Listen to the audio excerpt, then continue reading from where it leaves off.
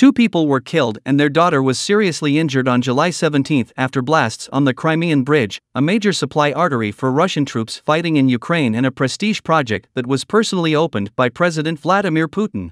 Reuters images from the scene showed no traffic crossing the 19 km road and rail bridge which links Russia to Crimea, which Russia annexed from Ukraine in 2014. Russian officials called it an emergency situation. Russia's Grey Zone channel, a Telegram channel affiliated with the Wagner mercenary group, reported there were two strikes on the bridge at 3:04 a.m. and 3:20 a.m. The parents of a girl were killed and their daughter was injured in a passenger car.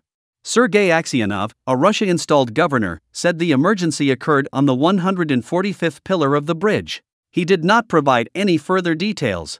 Russia blamed Ukraine for an attack on the bridge last October. Ukraine admitted only indirectly to the attack months later. The Crimean Peninsula has been a cherished vacation destination for Russians, especially after Moscow launched its invasion on Ukraine in 2022 and traveling to the west became much more difficult for Russians.